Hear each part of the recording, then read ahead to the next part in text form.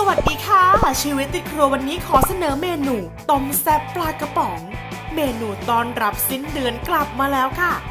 วันนี้เจได้จัดเมนูที่หาวัตถุดิบง่ายง่ายทำได้ไม่ยาก แถมยังอร่อย อิ่มท้องไปเลยแหละค่ะ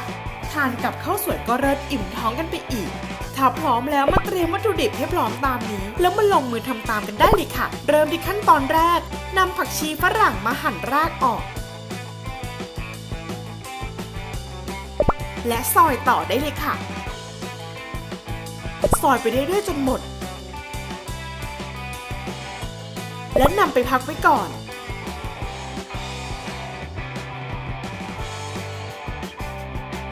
ต่อไปหอมแดง หั่นส่วนหัวและส่วนท้ายออก จากนั้นนะคะปอกเปลือกหอมแดงค่ะ หั่นครึ่งและหั่นให้เป็นชิ้นเล็กๆได้เลย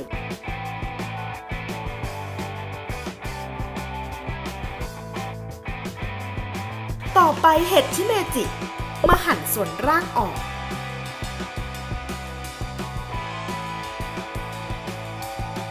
เมื่อหั่นเสร็จเรียบร้อยแล้วนำไปพักไว้ก่อนค่ะ ต่อไปตั้งหม้อเทน้ำเปล่าลงไป เปิดแก๊ส ใส่ข่า ตะไคร้ใบมะกรูด หอมแดงซอย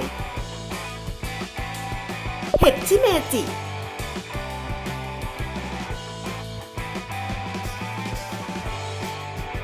ข้าวคั่ว พริกป่น น้ำปลา จากนั้นคนส่วนผสมให้เข้ากันดีเลยนะคะ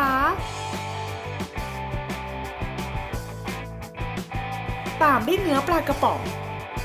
ใส่ได้ตามใจชอบเลยค่ะ และคนส่วนผสมให้เข้ากันอีกครั้ง